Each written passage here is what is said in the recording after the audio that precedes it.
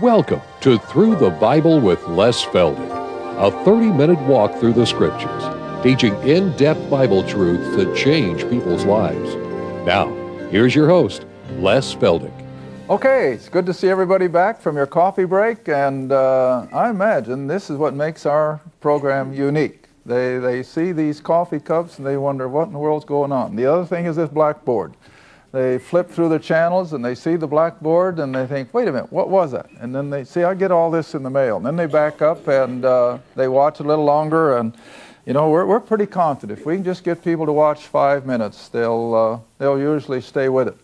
So, anyway, we want to always thank our television audience for your letters, your prayers, your financial help. Without it, we would never last. And uh, we just know the Lord is providing it through all of you out there. And we thank you so much for your letters. And uh, of course, we always emphasize keep them as short as possible. And uh, the shorter they are, the more we can read, and we do. We like to uh, make the claim that we read every letter that comes into the ministry. And uh, if you keep them short, that makes it easier. All right, for those of you here in the studio audience, we are now ready to get into chapter 59. I'm going to chap- skip chapter 58 and go into chapter 59. While you're looking that up, I'll remind our TV audience also that we are now in book number 62.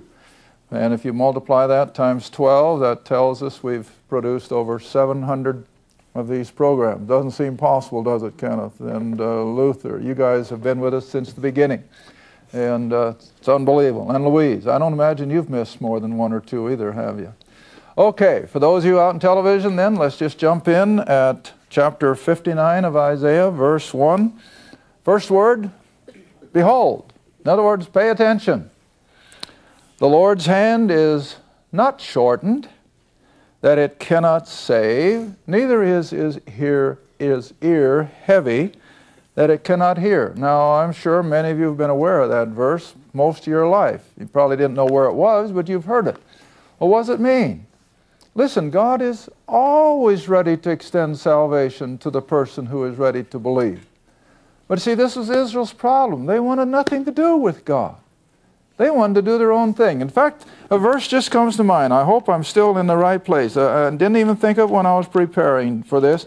But come back with me. I think it's the last verse of the book of Judges.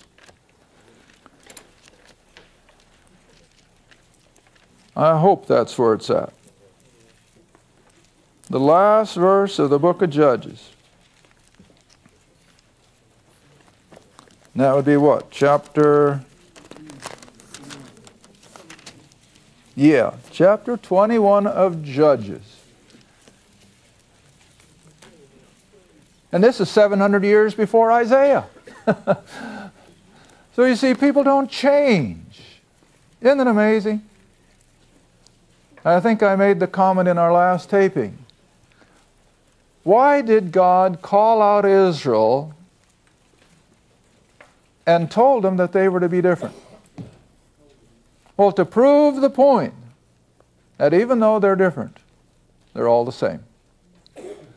You know, the evolutionist has a little cliche that they like to use that the more things go by, the more they stay the same.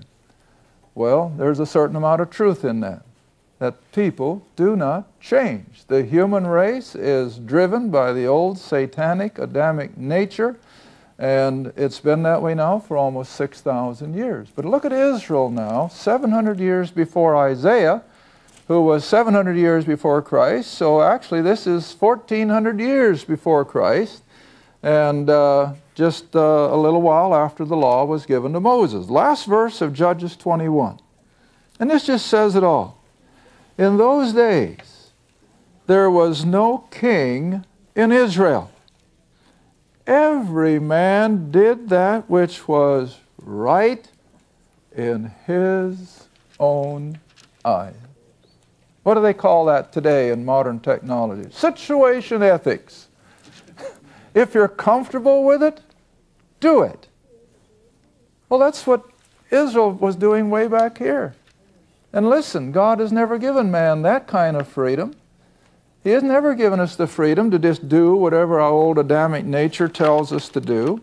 And yet Israel was so guilty of that very thing all through their national existence. All right, come back with me then, if you will, to Isaiah 59. But in spite of their rebellion, in spite of their unbelief, was God ready to save the man who would believe? Sure, He was. Were his ears stopped up that he could not hear? Never. And even today, as the world is steeped again in high tech iniquity, that's about all it amounts to. It's the same old immorality that was back in antiquity, only now it's associated with high technology, but it's the same old stuff. Is God unable to hear the cry of the person for salvation? No. God's ears aren't stopped today any more than it was in the days of Isaiah. All right, now verse 2.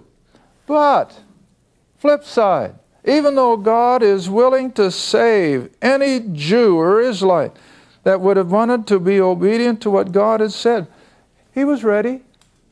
Flip side, this is where they really were.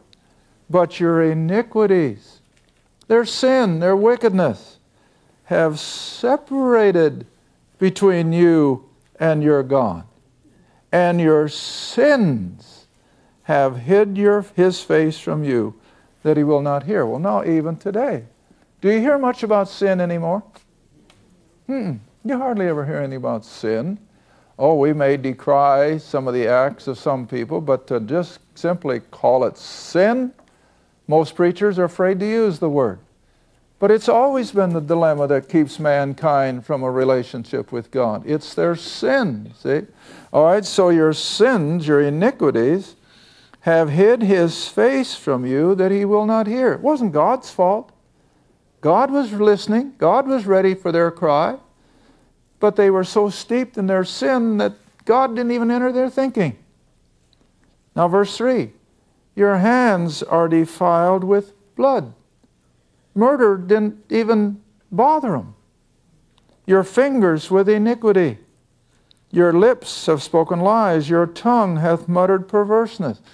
Now, I know that we may be getting kind of tired of this throughout the whole book of Isaiah, but the reason I'm staying with it is because we're in the same dilemma in America today.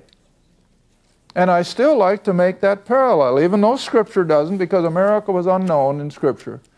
But I do feel that there is a parallel that you and I can use. Because not only was Israel God's chosen people, he was under their promises, but our beloved land was established by godly men on biblical principles. In fact, I told somebody the other day whenever you hear the media and you hear these liberals decrying the Word of God someplace or in the courthouse, when Iris and I were in Washington, D.C. a few years ago, I think we hit just about every monument in town. And the thing that amazed me the most was that even the monument of Thomas Jefferson, who was probably the least spiritual of all of our founding fathers, even in the Jefferson Memorial, scripture verse after scripture verse after scripture verse. And then this all came to mind. I was reading an article the other night about the Washington Monument, the big tall spire. Well, we weren't able to go when we were there because it was under renovation and it was closed, but it's now open again. And this article revealed that at the very pinnacle of the spire that stands on top of the National Monument is something makes direct reference to God. That's what America was founded on. And every memorial in Washington, D.C. is saturated with scripture verses. You go into Lincoln Memorial and it's all over the place. And then they try to tell us that we're to have nothing to do with Scripture in public places. They're going to have to sandblast most of Washington.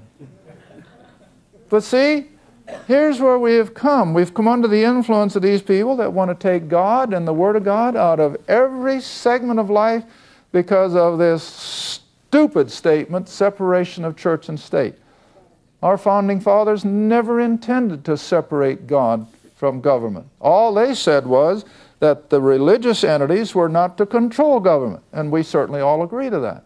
I don't want any particular denomination to have clout over government, but I certainly see nothing wrong with government realizing their responsibility under God. He's sovereign, and that's the way He intended it to be. All right, so Israel, you see, is just a good illustration of where we are as a nation today.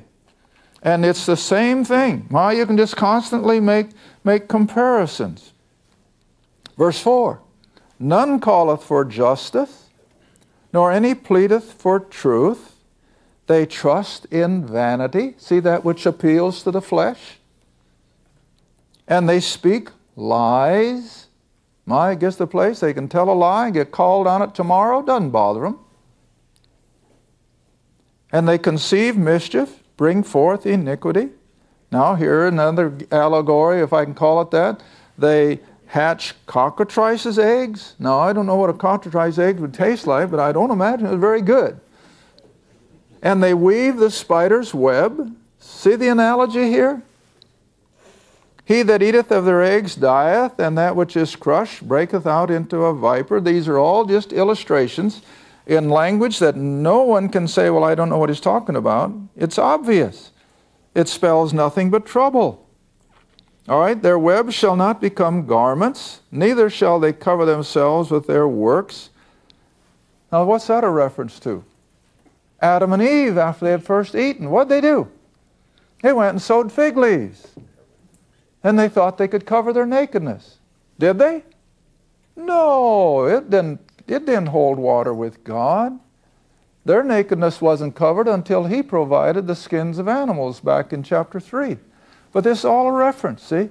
That just as ridiculous as sewing fig leaves by Adam and Eve, so also the Israelites are trying to cover themselves with false works.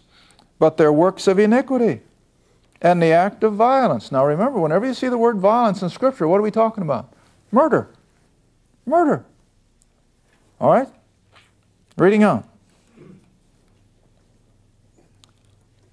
Verse 7 Their feet run to evil, and they make her haste to shed innocent blood. Their thoughts are thoughts of iniquity, wasting and destruction are in their path. Boy, I mean, it's just one thing after another. Now let's see how Paul puts it. Now let's jump up to Romans. I don't want to stay in the Old Testament. Otherwise, someone will say, well, Les, I get tired of you being in the Old Testament too much. No, we're going to jump back and forth. Now let's just come up to Romans a minute. Romans chapter 1.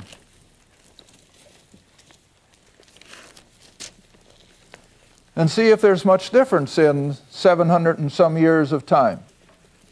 Well, you know as well as I do. Not a bit. It's the same old human race.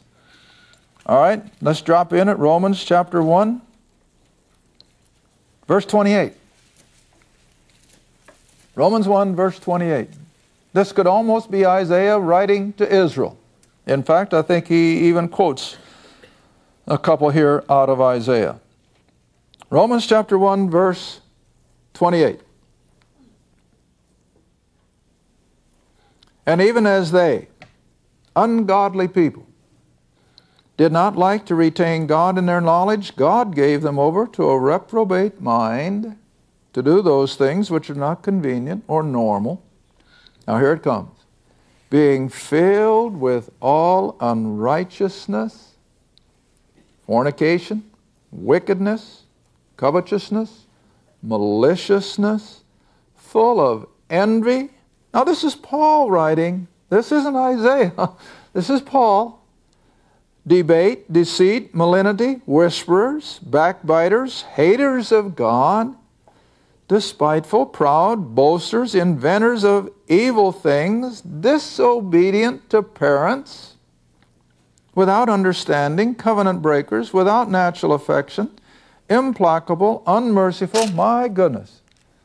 Can't get much worse than that, can it? But what is it? That's the picture of the human race until they experience God's saving grace. All right, come back again to Isaiah. This is all just to show us that the human race is incorrigibly wicked because they are under the old Adamic nature. All right, back to Isaiah 59. Verse 8. Isaiah 59, now verse 8. The way of peace, like we looked at in the last program. Being justified by faith, we have peace with God. We have no fear of being brought into His presence because our sins have been forgiven. But Israel didn't have that. they have no peace. There is no judgment. Now, the word judgment, as, as I understand in the Old Testament, is that kind of rule that brings tranquility. In other words, that's the whole purpose of government in the first place to guarantee the peace and safety of the civilian population. All right? So there is no government of that type in their goings. They have made them crooked paths. Whosoever goeth therein shall not know peace. But like we saw earlier in the chapter, they're going to be in constant turmoil. Verse 9, therefore is judgment, or that kind of a fair government, is far from us, neither doth justice overtake us. We wait for light, but behold obscurity. And I'm going to repeat the verb. We wait for brightness, but we walk where? In darkness. Now, verse 10. This is the spiritual description again of Israel and America. We grope for the wall like the blind. Now, that can't be improved on, can it? That's as plain as you can picture it. How a blind person just gropes to figure out where he is. All right? And that's what Israel was. We grope as if we had no eyes. We stumble at noonday as if it were the middle of the night. We are in desolate places as dead men. What a horrible picture of the nation. We roar like bears and mourn sore like doves. You know, whenever I read the Old Testament 7, you know what I'm always amazed? The language is the same as you'd use today. What does a bear do when, when they're trapped? You know, Iris and I had first-hand understanding of that. We stopped with a couple in uh, outside of Yellowstone Park a few years ago. And they'd had a big grizzly and her two cubs come into their front yard and eaten out of their apple trees. So they called for the park people. They were right on the outside of Yellowstone Park. So they called for the park people. And they came and they set a trap. And the old mama bear went in first. And so, of course, the gate slapped on her. But they couldn't get the cubs. And so for almost 48 hours, that old mama bear just roared and roared. They said you couldn't sleep at night for the roaring of that old mama bear. Well, I read something like this and I can't help but think of something like that. That was Israel, like a trapped mama. Now, why did she roar? Her babies are up there in the apple tree, and she knew it. And so here's, here's the connotation Israel, in their unbelief and in their wickedness, was just like a roaring bear. And then the other one is like doves. What kind of doves? Mourning doves. And with their mournful song, and so between the two, you had the extreme on both ends. That was Israel. But that's America. I can't help but bringing the two together. All right? Read on. But there is none. There is no sensible government or judgment. For salvation, it is far off from us. God's fault? No, we already saw that his ears aren't stopped. His arm isn't shortened. So whose fault is it? Unbelieving Israel. And today is no different. Why are people groping in their spiritual blindness? Because that's where they want to be. That's where they choose to be. They don't have to. God is ready and willing. He's constantly on the alert. You remember way back in one of my earlier programs, I gave the illustration of a swimming pool full of kids on a hot summer afternoon. And if you've got a lifeguard that knows what he or she is doing in the midst of all that screaming and laughing and everything, if there's one little weak cry of a kid in trouble, they hear it and they're after him. Well, that's God. In the midst of all the turmoil of this world, his ear is still tender for the cry of a lost person seeking salvation, and he's there instantly. All right, reading on. Our transgressions in verse 12 are, with, are against us. Our transgressions are, I'm sorry, our transgressions are with us. And as for our iniquities, we know them. Verse 13, in transgressing and lying against the Lord, departing away from our God, speaking oppression and revolt, conceiving and uttering from the heart words of falsehood, instead of dwelling on things that were honest and true and along the lines of godliness, they were totally the opposite. Now, another New Testament scripture comes to mind. Let's go all the way up to Titus. Let's go all the way to Titus chapter 2. And this again is Paul writing to you and I. Even as believers, we have to be on constant guard against these thoughts that will take us in the wrong direction. And after all, remember, where does everything begin? In the thought. Everything has to start with a thought. And that's why we have to be constantly aware. All right, Titus chapter 2, starting at verse 11. And I love these verses. Titus chapter 2, verse 11. Wait and see that everybody's found it. Titus chapter 2, verse 11. For the grace of God that bringeth salvation has appeared to all men. Now remember what we just heard in Isaiah? His arm is not shortened, his ears are not closed. Well, it's the same way here. God's grace has appeared to every human being, one way or another. Now, then, verse 12. What does the grace of God teach you and I as believers? It's teaching us that we're to deny ungodliness and worldly lusts, the lusts of the flesh. We should live soberly, righteously, and godly. Now, that's a small g. We're to live godly lives. Now, that just simply means in absence of sinful living. And we are to live all of these things in this present world. You don't have to wait to get old to eternity for this. This is the here and now. And how many church people can sit in church on Sunday morning and yet the rest of the week know nothing of this? And Israel was saying, oh, they kept their temple worship. Oh, it had already been counterfeited and it had been adulterated, but oh, they still were religious. But there was no faith connected with it. They thought more of their, their wickedness than they did of pleasing God. All right, back to Isaiah 59. Now, verse 14 judgment. And again, I'm still going to use that definition. Judgment referred to a, a governmental authority that would bring peace and happiness to its people. All right? Judgment is turned away backward. They don't even want that which is good for them. And justice standeth afar off. Now, every once in a while, we'll have one of our listeners write that have gone through a court situation for whatever reason. And invariably, was justice served? Mm-mm. Too often it isn't. And you know why? Because too many of our judges are corrupt. And if you've got a corrupt judge, justice will not be served. And so here's what's happening in Israel the same thing. You couldn't find justice. There wasn't anything fair.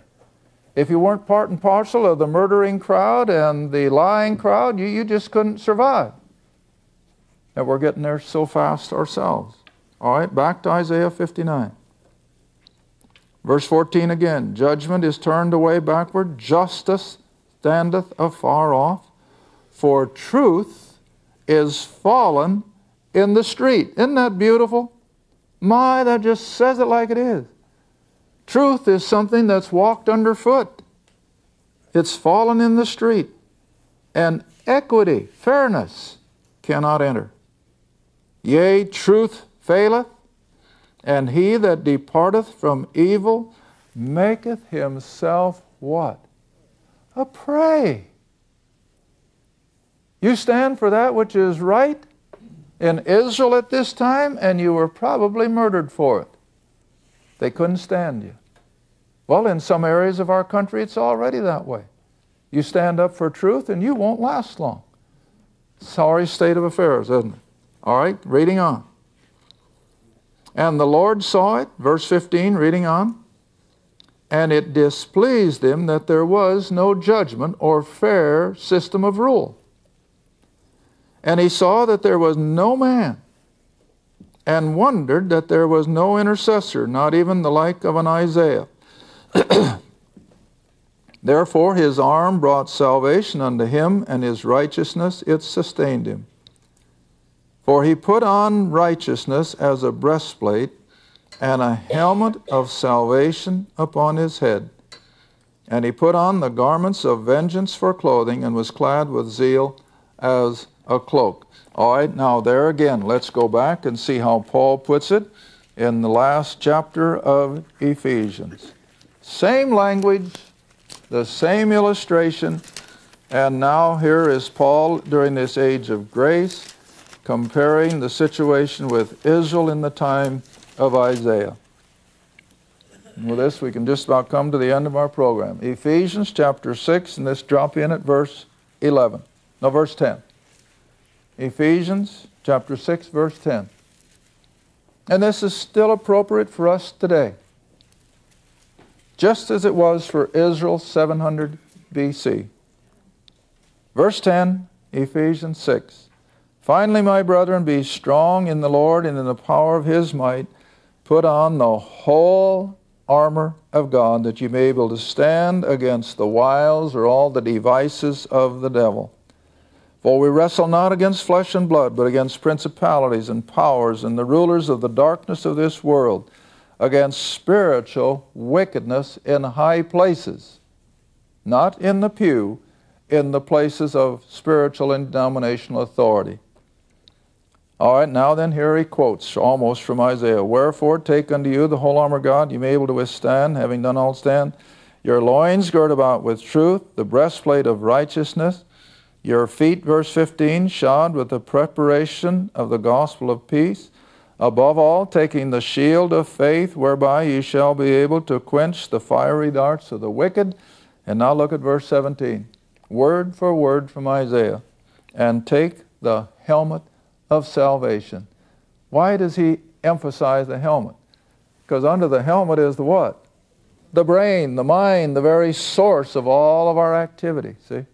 And so you take the helmet of salvation as well as the sword of the Spirit. And what's the sword of the Spirit? The Word of God. This is our weapon. But this weapon does nothing unless you have everything upstairs that you need. And how do we get that? Through the leading and the directing of the Holy Spirit. And we depend on Him for all of our needs. Thank you for watching Through the Bible with Les Feldick. Through the Bible is a partner supported ministry. If this program has been a help to your study of the Scriptures and you'd like to see others enjoy the teaching, your support would be greatly appreciated. Write to us at Les Feldick Ministries, 30706 West Lona Valley Road, Kinta, Oklahoma 74552, or call 1 800 369 7856. Remember, all programs are available in printed form, audio cassette, and videotape. Be sure to tune in next time to Through the Bible with Les Feldick.